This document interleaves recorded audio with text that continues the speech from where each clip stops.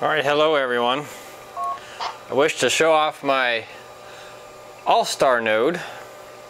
As you can see, it's a very basic system. You don't need much to do it. Um, I have here is a NeoWare Thin Client CA22, which just has a 1000 megahertz processor, you know, 1 gigahertz.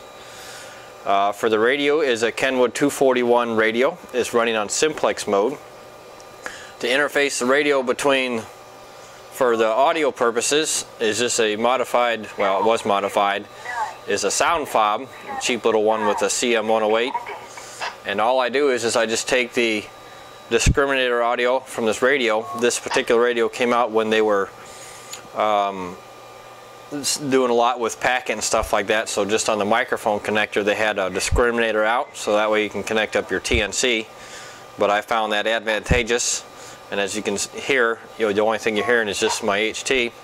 But anyway, it's just a used Kenwood 241 radio, uh, just a little fan, and then it's a uh, 12 volt 55 amp hour battery with a modified computer switch mode power supply, and that's all it charges it.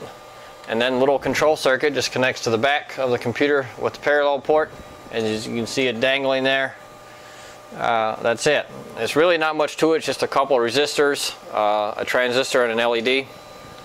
And that's it.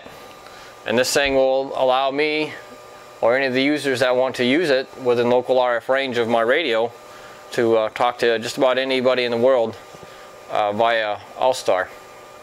If you wish to look that up, just go to allstarlink.org um, and you can also um, go to a couple other websites when you uh, type in that search and you'll see it. If you have any comments, please leave them. Have any questions, please message me. Thank you.